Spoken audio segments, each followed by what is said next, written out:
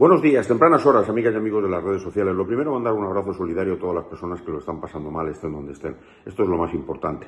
También, un día más, deseando una recuperación total de Félix Garreta. Mandamos un abrazo y mucho ánimo. Agradecer el apoyo en redes sociales. Un día más espectacular. Muchísimas gracias. Les recuerdo que los vídeos de ayer y antes de ayer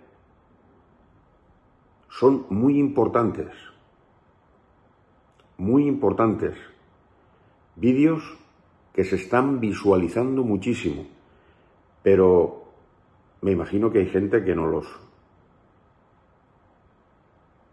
pudo visualizar, no ha podido visualizarlos.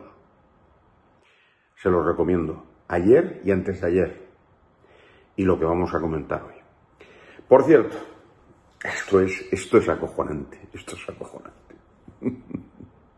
Está todo bien, está todo bien en el Barça, está todo bien. El señor Laporta, bueno, esto es una maravilla. Otro ejecutivo que se marcha del Barcelona.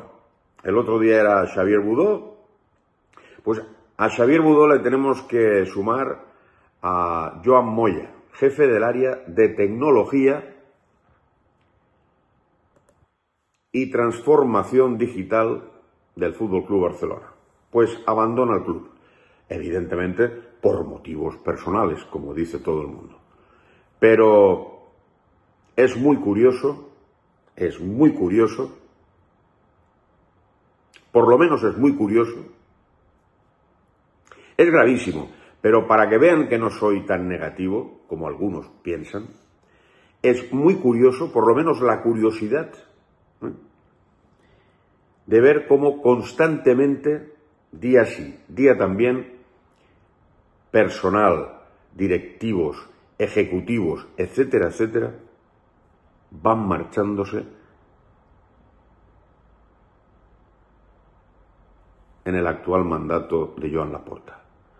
Me decía un buen amigo, por alguna razón será, Guijarro, por alguna razón, digo yo, porque si todos están, como me dicen eh, algunos entendidos y conocedores de lo que cobran algunos de estos profesionales, tan bien remunerados, tan a gusto en sus puestos y todo es maravilloso, porque se van. Yo nunca me marcharía de un sitio eh, donde estoy a gusto.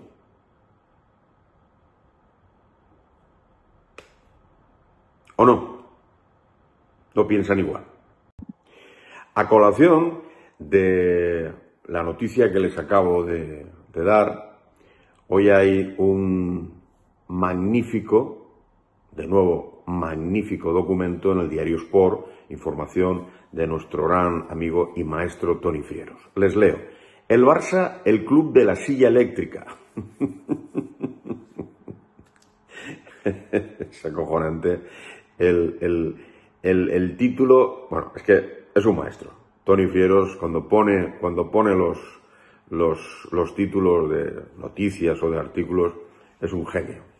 Y evidentemente en todo lo que viene a continuación.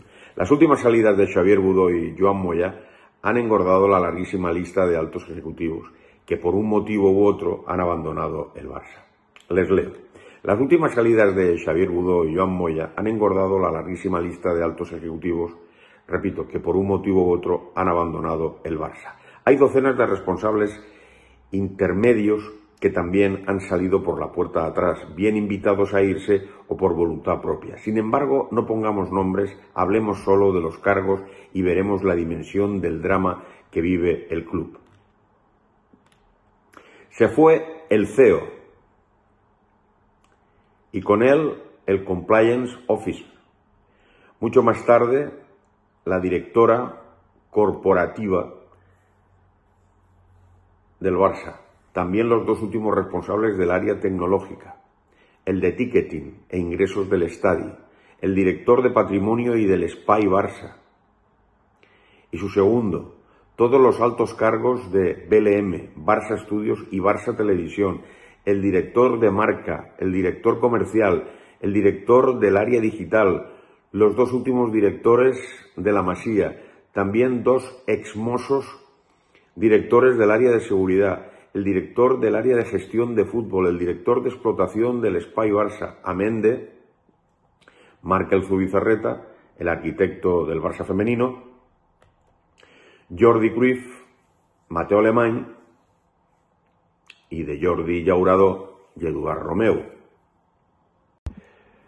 Para finalizar, para finalizar, el bueno de Tony Frieros dice, nos dejamos muchos otros nombres y cargos y todo eso solo en tres años. ¿Alguien duda que algo pasa en el Fútbol Club Barcelona?